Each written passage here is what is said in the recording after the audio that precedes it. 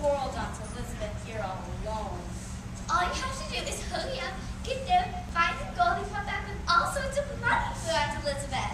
You don't even know if there really is gold in California. And besides, even if there is, it'll probably be all gone by the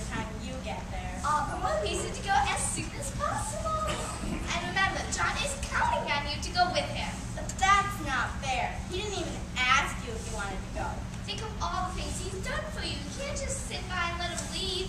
Face it, you want to go so badly, you can hardly stand it. I can't go! What is it?